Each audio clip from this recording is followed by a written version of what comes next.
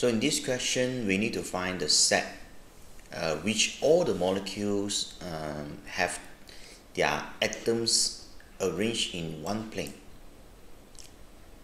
Okay, so before we go through this uh, A, B, C, D, uh, at least you need to know what is the geometry of the molecules that involved.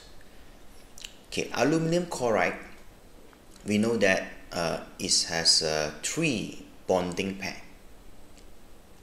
So it just can be trigonal planar. Bond angle is 120.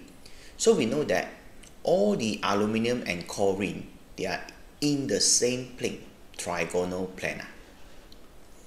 For BF3 also similar to this uh, aluminum chloride.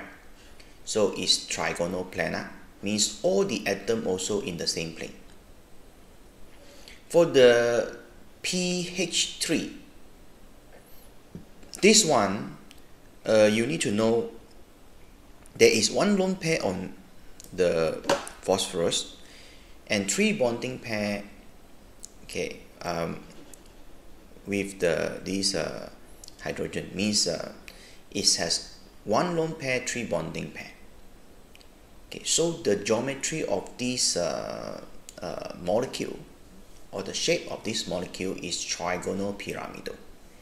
Okay, so means all these atoms, the P and H, it cannot be in the same plane because it's the pyramidal.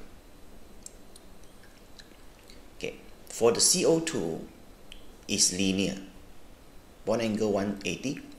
Whenever the compound is linear or V shape or bend. So all these atoms actually they are they will be in the same plane. So means the C and these two O will be in one plane.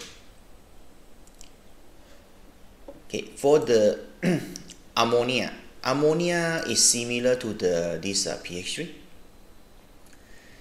So its geometry also trigonal pyramidal means the nitrogen and hydrogen they cannot in the in one plane.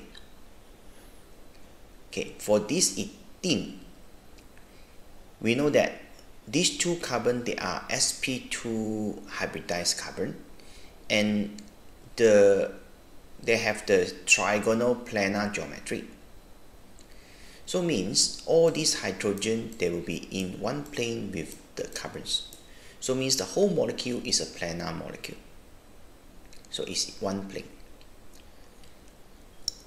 so water I told you already just now.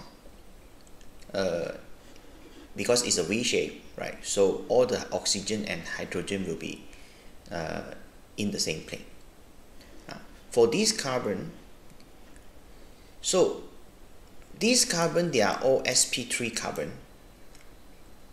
And the carbon and hydrogen they have the uh, this uh, the bond angle is uh, 1 uh, 09.5 means uh, the carbon and hydrogens they cannot be uh, in one plane because it's tetrahedral.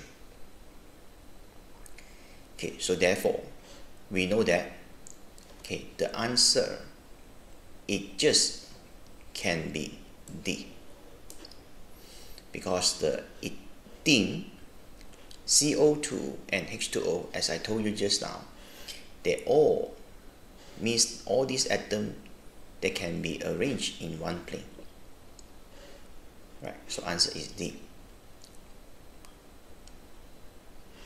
Okay, that's all. Thank you.